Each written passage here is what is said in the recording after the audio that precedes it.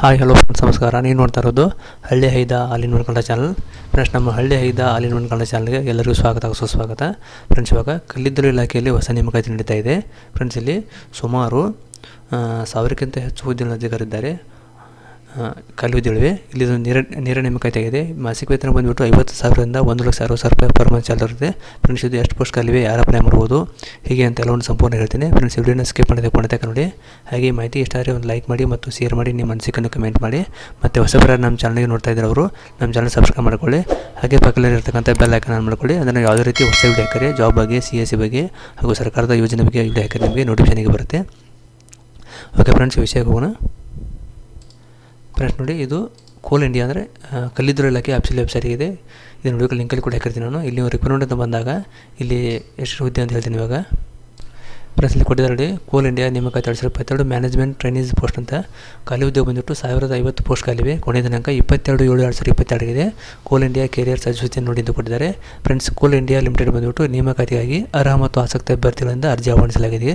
ಗಣಿಗಾರಿಕೆ ಸಿವಿಲ್ ಮತ್ತು ಎಲೆಕ್ಟ್ರಾನಿಕ್ಸ್ ಮತ್ತು ಕಮ್ಯುನಿಕೇಷನ್ ಮತ್ತು ಸಿಸ್ಟಮ್ ಮತ್ತು ಇ ಡಿ ಪಿಯಲ್ಲಿ ಮ್ಯಾನೇಜ್ಮೆಂಟ್ ಹುದ್ದೆಗಳ ಟ್ರೈನಿಂಗ್ ಟ್ರೈನಿಗಳ ಹುದ್ದೆಯನ್ನು ಅರ್ಜಿ ಕರೆದಿದ್ದಾರೆ. ಫ್ರೆಂಡ್ಸ್ ಬಗ್ಗೆ ವಿವರಣೆ ಕೊಡ್ತೀನಿ, ಇವಾಗ ನೋಡ್ಕೊ ತೊಗೊಂಡು ಬನ್ನಿ ಫ್ರೆಂಡ್ಸ್ ಇಲ್ಲಿ ಕೊಟ್ಟಿದ್ದಾರೆ ನೋಡಿ. ಕೋಲ್ ಇಂಡಿಯಾ ಲಿಮಿಟೆಡ್ ಮ್ಯಾನೇಜ್ಮೆಂಟ್ ಟ್ರೈನಿಂಗ್ ನೇಮಕಾತಿ ಎರಡು ಸಾವಿರದ ಇಪ್ಪತ್ತೆರಡು ಅಂತ. ಇಲ್ಲಿ ಸಂಸ್ಥೆ ಹೆಸರು ಬಂದುಬಿಟ್ಟು ಕೋಲ್ ಇಂಡಿಯಾ ಲಿಮಿಟೆಡ್ ಅಂದರೆ ಕಲ್ಲಿದ್ದಲು ಇಲಾಖೆ ಆಗಿದ್ದು ಇಲ್ಲಿ ಪೋಸ್ಟ್ ಹೆಸರು ನೋಡ್ಬೇಕಾದ್ರೆ ಮ್ಯಾನೇಜ್ಮೆಂಟ್ ಟ್ರೈನಿಂಗ್ ಅಂತ ಹುದ್ದೆಗಳ ಅರ್ಜಿ ಕರೆದಿದ್ದಾರೆ. ಒಟ್ಟು ಕಾಲೇಜು ನೋಡ್ಬೇಕಾದ್ರೆ ಸಾವಿರದ ಐವತ್ತು ಖಾಲಿ ಹುದ್ದೆಗಳಿವೆ ಉದ್ಯೋಗ ಸ್ಥಳ ಬಂದುಬಿಟ್ಟು ಎಂದು ಇರತಕ್ಕಂಥ ಉದ್ಯೋಗವಾಗಿದೆ. ಅರ್ಜಿ ಸಲ್ಲಿಸುವ ಮೋಡ್ ಬಂದು ಬಂದುಬಿಟ್ಟು ನೀವು ಆನ್ಲೈನ್ ಮುಖಾಂತರ ಅರ್ಜಿಯನ್ನು ಸಲ್ಲಿಸಬಹುದಾಗಿದೆ. ಆಫೀಸಲ್ಲಿ ವೆಬ್ಸೈಟ್ ನೋಡ್ಬೇಕಾದ್ರೆ W W Coal India dot in ಅಂತ ಇದು ಆಫೀಸಲ್ಲಿ ವೆಬ್ಸೈಟ್ ಆಗಿದೆ. ಈ ಮುಖಾಂತರ ನೀವು ಅರ್ಜಿಯನ್ನು ಸಲ್ಲಿಸಬಹುದಾಗಿದೆ. ಫ್ರೆಂಡ್ಸನ್ನು ಕೋಲ್ ಇಂಡಿಯಾ ಲಿಮಿಟೆಡ್ನ ಹುದ್ದೆ ವಿವರ ನೋಡ್ಬೇಕಾದ್ರೆ ಹುದ್ದೆ ವಿವರ ಕೊಟ್ಟಿದ್ದಾರೆ ಹುದ್ದೆ ಹೆಸರು ಮತ್ತು ಖಾಲಿ ಹುದ್ದೆ ಸಂಖ್ಯೆ ಕೊಟ್ಟಿದ್ದಾರೆ. ಗಣಿಗಾರಿಕೆಯಲ್ಲಿ ಆರುನೂರ ತೊಂಬತ್ತೊಂಬತ್ತು ಪೋಸ್ಟ್ಗಳಿವೆ ಸಿವಿಲ್ನಲ್ಲಿ ನೂರ ಅರವತ್ತು ಪೋಸ್ಟ್ಗಳಿವೆ. ಆಮೇಲೆ ಎಲೆ- ಎಲೆಕ್ಟ್ರಾನಿಕ್ಸ್ ಮತ್ತು ದೂರಸಂಪರ್ಕ ಇಲಾಖೆಯಲ್ಲಿ ನೂರ ಇಪ್ಪತ್ನಾಲ್ಕು ಪೋಸ್ಟ್ಗಳಿವೆ. ವ್ಯವಸ್ಥೆ ಮತ್ತು ಇ ಡಿ ಪಿಯಲ್ಲಿ ಅರವತ್ತೇಳು ಪೋಸ್ಟ್, ಪೋಸ್ಟ್ಗಳಿವೆ. ಒಟ್ಟು ಹುದ್ದೆ ನೋಡಬೇಕಾದ್ರೆ ಸಾವಿರದ ಐವತ್ತು ಪೋಸ್ಟ್ ಖಾಲಿವೆ ಇಲ್ಲಿ ಇರತಕ್ಕಂಥ ಒಂದು ಉದ್ಯೋಗ ಆಗಿದ್ದು. ಫ್ರೆಂಡ್ಸ್, ಇದು ಕೋಲ್ ಇಂಡಿಯಾ ಲಿಮಿಟೆಡ್ ಅಂದರೆ ಕಲ್ಲಿದ್ದಲು ಇಲಾಖೆಯ ಸಂಬಳ ವಿವರ ನೋಡ್ಬೇಕಾದ್ರೆ ಇಲ್ಲಿ ಮೊದಲನೇದಾಗಿ ಕೊಟ್ಟಿದ್ದಾರೆ ಐವತ್ತು ಸಾವಿರದಿಂದ ಒಂದು ಲಕ್ಷ ಅರವತ್ತು ಸಾವಿರ ರೂಪಾಯಿ ತರಬೇತಿ ಅವಧಿಯಲ್ಲಿ ಅಂತ ಕೊಟ್ಟಿದ್ದಾರೆ ಸ್ಯಾಲ್ರಿಯನ್ನು. ಆಮೇಲೆ ತರಬೇತಿಯನ್ನು ಯಶಸ್ವಿ ಪೂರ್ಣಗೊಳಿಸಿದ ನಂತರ ಅರವತ್ತು ಸಾವಿರದಿಂದ ಒಂದು ಲಕ್ಷ ಎಂಬತ್ತು ಸಾವಿರ ರೂಪಾಯಿ ಪಡೀತಾರೆ ಅಂತ ಕೊಟ್ಟಿದ್ದಾರೆ.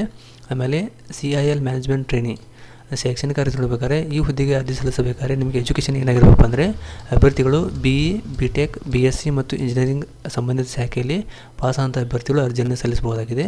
ಇನ್ನು ವಯಸ್ಸಿನ ಮಿತಿ ನೋಡಬೇಕಂದ್ರೆ, ಫ್ರೆಂಡ್ಸ್, ಇಲ್ಲಿ ವಯಸ್ಸಿನ ಮಿತಿ ಬಂದ್ಬಿಟ್ಟು ಈ ರೀತಿಯಾಗಿ ಕೊಟ್ಟಿದ್ದಾರೆ ನೋಡಿ. ಕೋಲ್ ಇಂಡಿಯಾ ಲಿಮಿಟೆಡ್ ನಿಯಮದ ಪ್ರಕ- ಪ್ರಕಾರ ಗರಿಷ್ಠ ಮೂವತ್ತು ವರ್ಷ ಕೊಟ್ಟಿದ್ದಾರೆ ಹೆಚ್ಚಿನ ವಿವರಗಳಿಗಾಗಿ ನೀವು ಆಫೀಸ್ಗಳಿಗೆ ಅಂತ ನೋಟಿಫಿಕೇಶನ್ ನೋಡಿ ಎಂದು ಕೊಟ್ಟಿದ್ದಾರೆ. ಇನ್ನು ಆಯ್ಕೆ ಪ್ರಕಾರ ಯಾವ ರೀತಿ ಅಂದರೆ ಗೆಟ್ ಸ್ಕೋರ್ ಎರಡು ಸಾವಿರದ ಇಪ್ಪತ್ತೆರಡರ ಆಧಾರದ ಮೇಲೆ ಅಭ್ಯರ್ಥಿಗಳನ್ನು ಸಂಪೂರ್ಣವಾಗಿ ಆಯ್ಕೆ ಮಾಡಲಾಗುತ್ತದೆ. ಫ್ರೆಂಡ್ಸ್, ಇದೊಂದು ನೇರ ನೇಮಕಾತಿಯಾಗಿದೆ. ಇದು ಮೆರಿಟ್ ಆಧಾರದ ಮೇಲೆ ಆಯ್ಕೆ ಮಾಡಲಾಗುತ್ತದೆ. ಅರ್ಜಿ ಮೋಡ್ ಬಂದ್ಬಿಟ್ಟು ಆನ್ಲೈನ್ ಮುಖಾಂತರ ಅರ್ಜಿಯನ್ನು ಸಲ್ಲಿಸಬಹುದಾಗಿದೆ. ಫ್ರೆಂಡ್ಸ್, ಇನ್ನು ಅರ್ಜಿ ಶುಲ್ಕ ಬಂದ್ಬಿಟ್ಟು ಅರ್ಜಿ ಶುಲ್ಕ ಈ ರೀತಿ ಕೊಟ್ಟಿದ್ದಾರೆ ನೋಡಿ. ಶುಲ್ಕ ಬಂದ್ಬಿಟ್ಟು ರೂಪಾಯಿ ಸಾವಿರದ ಎಂಬತ್ತು ರೂಪಾಯಿ ಸಾಮಾನ್ಯ ಮತ್ತು O B C E W C ಅಭ್ಯರ್ಥಿಗಳಿಗೆ ಕೊಟ್ಟಿದ್ದಾರೆ. ಅದೇ ರೀತಿ S C S T P W D E S M ಅಭ್ಯರ್ಥಿಗಳಿಗೆ ಯಾವುದೇ ರೀತಿ ಶುಲ್ಕವಿಲ್ಲ. ಉಚಿತವಾಗಿ ನೀವು ಅರ್ಜಿಯನ್ನು ಸಲ್ಲಿಸಬಹುದಾಗಿದೆ. ಹಾಗೂ ಪಾವತಿ ಮೋಡ್ ಬಂದುಬಿಟ್ಟು ನೀವು ಸಲ್ಲಿಸ್ತಕ್ಕಂಥ ಪೇವನ್ನು ಆನ್ಲೈನ್ ಮುಖಾಂತರ ಶುಲ್ಕವನ್ನು ಕಟ್ಟಬೇಕಂತ ಕೊಟ್ಟಿದ್ದಾರೆ. ಇನ್ನು ಅರ್ಜಿ ಸಲ್ಲಿಸುವ ಪ್ರಮುಖ ದಿನಾಂಕ ಯಾವ ರೀತಿ ಇದೆ ಅಂದರೆ ಫ್ರೆಂಡ್ಸ್ ನೋಡಿ ಅರ್ಜಿ ಸಲ್ಲಿಸುವ ಪ್ರಮುಖ ದಿನಾಂಕ ಈ ರೀತಿ ಇವೆ ಆನ್ಲೈನಲ್ಲಿ ನೋಂದಣಿ ಪ್ರಾರಂಭ ದಿನಾಂಕ ಹೋಗೋದು ಬಂದುಬಿಟ್ಟು ಇಪ್ಪತ್ತ್ಮೂರು ಆರು ಎರಡು ಸಾವಿರದ ಇಪ್ಪತ್ತೆರಡರಿಂದ ಆರಂಭವಾಗಿದೆ. ಅದೇ ರೀತಿ ಅರ್ಜಿ ನಮೂನೆಯನ್ನು ಸಲ್ಲಿಸುವ ಕೊನೆಯ ದಿನಾಂಕ ಬಂದುಬಿಟ್ಟು ಇಪ್ಪತ್ತೆರಡು ಏಳು ಎರಡು ಸಾವಿರದ ಇಪ್ಪತ್ತೆರಡು ಒಳಗಡೆ ನೀವು ಅರ್ಜಿಯನ್ನು ಸಲ್ಲಿಸಬಹುದಾಗಿದೆ. ಫ್ರೆಂಡ್ಸ್, ಅಂದರೆ ಇವತ್ತು ಹನ್ನೆರಡನೇ ತಾರೀಕು, ಇನ್ನು ಇಪ್ಪತ್ತೇಳನೇ ತಾರೀಕಿದು ಕ್ಲೋಸ್ ಆಗುತ್ತೆ. ಅಷ್ಟು ನೀವು ಅರ್ಜಿಯನ್ನು ಸಲ್ಲಿಸಬಹುದಾಗಿದೆ. ಇವಾಗ ಅಪ್ಲಿಕೇಶನ್ ಯಾವ ರೀತಿ ಹಾಕಬೇಕಂತ ಇಲ್ಲಿ ಕೆಳಗಡೆ ಮಾಹಿತಿ ಕೊಟ್ಟಿದ್ದಾರೆ ನೋಡಿ. ಮೇನಾಗಿ ಆಪ್ಷನ್ ವೆಬ್ಸೈಟ್ ಹೋಗಿ ನೀವು ಕ್ಯಾರೀಸ್ ಅಂತ ಇರುತ್ತೆ. ಆ ಟ್ಯಾಬ್ ಓಪನ್ ಮಾಡ್ಕೊಂಡಾಗ ಅದು GATE two thousand twenty two score ಆಧಾರದ ಮೇಲೆ ಅಂತ ಕೊಟ್ಟಿದ್ದಾರೆ. ಅಲ್ಲಿ ಲಿಂಕ್ ಓಪನ್ ಮಾಡಿದಾಗ ಅಪ್ಲಿಕೇಶನ್ ಫಾರ್ಮ್ ಓಪನ್ ಆಗುತ್ತೆ. ಯಾವ ರೀತಿ ಅಂತ ತೋರಿಸ್ತೀನಿ ಇವಾಗ. ಫ್ರೆಂಡ್ಸ್ ಇದು ವೆಬ್ಸೈಟ್ ಆಗಿದೆ. ಇದನ್ನು ಕೂಡ ವಿಡಿಯೋಗಳ ಲಿಂಕಲ್ಲಿ ಹಾಕಿರ್ತೀನಿ. ಅಪ್ಲೈ ಮಾಡೋ ಲಿಂಕ್ ಆಗಿದೆ ಇದು. ಇಲ್ಲಿರ್ತಕ್ಕಂಥ ಮಾಹಿತಿ ನೋಡ್ಕೋಬೋದು. ಏನಿದೆ ಅಂದರೆ, ಇಲ್ಲಿ ಮೊದಲನೇದಾಗಿ GATE two thousand twenty two score ಆಧಾರದ ಮೇಲೆ ಮ್ಯಾನೇಜ್ಮೆಂಟ್ ಟ್ರೈನಿಂಗ್ ಕೊಟ್ಟಿದ್ದಾರೆ. ಫ್ರೆಂಡ್ಸ್ ಪೇಜ್ ಇಂಗ್ಲೀಷಲ್ಲಿದೆ ನಾನು ಕನ್ನಡದಲ್ಲಿ ಟ್ರಾನ್ಸ್ಲೇಟ್ ಮಾಡಿದ್ದೀನಿ ನಮಗೆ. ಆಮೇಲೆ ಇಲ್ಲಿ ಆನ್ಲೈನ್ ಅಪ್ಲಿಕೇಶನ್ ಅವಧಿಯಲ್ಲಿ ಸಕಾಲಿಕ ಸಹಾಯಕ್ಕಾಗಿ ಕೆಳಗಿನ ಮಾಹಿತಿಯನ್ನು ಗಮನಿಟ್ಟು ಅಂತ ಕೊಟ್ಟಿದ್ದಾರೆ. ಇಲ್ಲಿ ಪಿ ಡಿ ಎಫ್ ಕೂಡ ಕೊಟ್ಟಿದ್ದಾರೆ. ಇದು ನೋಡ್ಕೋಬೋದು ಸೂಚನೆ ಸಂಖ್ಯೆ ಅಂತ. ಸ್ಕೋರ್ ಆಧಾರದ ಮೇಲೆ ಮ್ಯಾನೇಜ್ಮೆಂಟ್ ಟ್ರೈನಿ ನೇಮಕಾತಿಗಾಗಿ ವಿರೋಧ ಜಾಹೀರಾತು ಜಾಹೀರಾತು ಸಂಖ್ಯೆ ಅಂತ ಕೊಟ್ಟಿದ್ದಾರೆ. ಇಲ್ಲಿ ಇನ್ನೊಂದು ಸೂಚನೆ ಅಂತ ಕೊಟ್ಟಿದ್ದಾರೆ. ಇದನ್ನು ಸರಿಯಾಗಿ ನೋಡ್ಕೊಳ್ಳಿ ಏನಿದೆ ಅಂತ. ಆಮೇಲೆ ಇಲ್ಲಿ ಕೆಳಗಡೆ ಲಿಂಕ್ ಕೊಟ್ಟಿದ್ದಾರೆ. ಅರ್ಜಿ ನಮೂನೆಯನ್ನು ಭರ್ತಿ ಮಾಡಲು ಆನ್ಲೈನ್ ಲಾಗಿನ್ ಪೋರ್ಟಲ್ ಆಗಿ ಕೊಟ್ಟಿದ್ದಾರೆ. ಇಲ್ಲಿ ನೀವು ಕ್ಲಿಕ್ ಮಾಡಿದಾಗ ಅಪ್ಲಿಕೇಶನ್ ಫಾರ್ಮ್ ಓಪನ್ ಆಗುತ್ತೆ. ಇದು ಯಾವ ರೀತಿ ಅಂತ ತೋರಿಸ್ತೀನಿ ಇವಾಗ. ಫ್ರೆಂಡ್ಸ್ ಇವಾಗ ನಾವು ಇದ್ರ ಮೇಲೆ ಕ್ಲಿಕ್ ಮಾಡಿದಾಗ ಈ ರೀತಿ ಪೇಜ್ ಓಪನ್ ಆಗುತ್ತೆ ಅಪ್ಲಿಕೇಶನ್ ಫಾರ್ಮು ಇಲ್ಲಿ ನೋಡ್ತಿರ್ಬೋದು ಡೇಟ್ ಕೂಡ ಕೊಟ್ಟಿದ್ದಾರೆ ಎಲ್ಲವನ್ನು. ಇಲ್ಲಿ ಕ್ಲಿಯರಾಗಿ ಒಂದು ಸಾರಿ ನೋಡ್ಕೊಳ್ಳಿ ಏನಿದೆ ಅಂತ.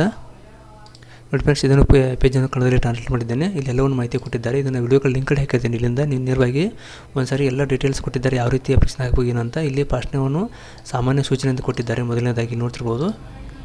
ಈ ಕಾಲಮಲ್ಲಿ ಸೂಚನೆ ಕೊಟ್ಟಿದ್ದಾರೆ. ಇಲ್ಲಿ ಸೆಕೆ ಸೆಕೆಂಡ್ ಕಾಲಮ್ನಲ್ಲಿ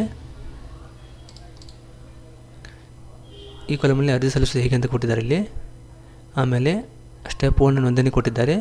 ಹಂತ ಎರಡು ಭರ್ತಿ ಮಾಡುವಂತ ಇಲ್ಲಿ ನಾಲ್ಕು ಸ್ಟೆಪ್ ಇದೆ ಫ್ರೆಂಡ್ಸ್ ಎಲ್ಲ ಮಾಹಿತಿ ಸಂಪೂರ್ಣವಾಗಿ ಕೊಟ್ಟಿದ್ದಾರೆ ಡಾಕ್ಯುಮೆಂಟ್ಸ್ ಏನು ಯಾವ ರೀತಿ ಸ್ಕ್ಯಾನ್ ಮಾಡಬೇಕು ಅಂತ ಕ್ಲಿಯರ್ ಕೊಟ್ಟಿದ್ದಾರೆ. ಒಂದು ಸಾರಿ ನೋಡ್ಕೊಂಡು ಅರ್ಜಿಯನ್ನು ಸಲ್ಲಿಸ್ಬೋದು ಇಲ್ಲಿ ಕೆಳಗಡೆ ಲಾಸ್ಟ್ ಒಂದು ಬಂದುಬಿಟ್ಟು ಇಲ್ಲಿರ್ತಕ್ಕಂಥ ಚೆಕ್ ಬಾಕ್ಸ್ ಮೇಲೆ ಆ ಎಗ್ರಿ ಅಂತ ಕ್ಲಿಕ್ ಮಾಡಿದಾಗ ಇದು ಪ್ರಾರಂಭಿಸಿ ಬರುತ್ತೆ. ಇಲ್ಲಿ ನೀವು ಕ್ಲಿಕ್ ಮಾಡಬೇಕಾಗುತ್ತೆ. ಅದಕ್ಕಿಂತ ಮುಂಚೆ ನೀವು ಈಗಾಗಲೇ ನೋಂದಾಯ್ತಾರೆ ಅರ್ಜಿಯನ್ನು ನೀವು ರಿಜಿಸ್ಟರ್ ಮಾಡ್ಕೋಬೇಕಾಗುತ್ತೆ. ರಿಜಿಸ್ಟರ್ ಮಾಡ್ಕೊಂಡು ಅರ್ಜಿ ಸಲ್ಲಿಸಬೇಕು. ಇವಾಗ ಲಾಗಿನ್ ಮಾಡಲು ಇಲ್ಲಿ ಕ್ಲಿಕ್ ಮಾಡಬೇಕಾಗತ್ತೆ. ಈ ರೀತಿ ಪೇಜ್ ಓಪನ್ ಆಗುತ್ತೆ. ಇದಕ್ಕಿಂತ ಮುಂಚೆ ನೀವು ಫಸ್ಟ್ ಒಂದು ರಿಜಿಸ್ಟರ್ ಮಾಡ್ಕೋಬೇಕಲ್ಲ?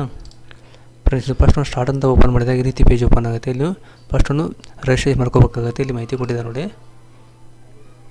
ಪರ್ಸನಲ್ ಇದನ್ನೆಲ್ಲವೂ ನೀವು ಫಿಲಪ್ ಮಾಡಿದ ನಂತರ ನಿಮಗೆ ಒಂದು ಯೂಸರ್ ಪಾಸ್ವರ್ಡ್ ಕೊಡ್ತಾರೆ. ಅಲ್ಲಿ ನೀವು ಲಾಗಿನ್ ಆಗಿ ಅಪ್ಲಿಕೇಶನ್ ಹಾಕ್ಬೋದು. ಓಕೆ ಫ್ರೆಂಡ್ಸ್ ಈ ಮಾಹಿತಿ ನಿಮಗೆ ಇಷ್ಟ ಆಗಿದೆ ಒಂದು ಲೈಕ್ ಮಾಡಿ ಮತ್ತು ಶೇರ್ ಮಾಡಿ ನಿಮ್ಮ ಅನಿಸಿಕೆಯನ್ನು ಕಮೆಂಟ್ ಮಾಡಿ. ಫ್ರೆಂಡ್ಸ್ ವಿಡಿಯೋ ನೋಡೋದಕ್ಕಾಗಿ ತುಂಬ ಧನ್ಯವಾದಗಳು. Thanks for watching Jai Hind, Jai Karnataka.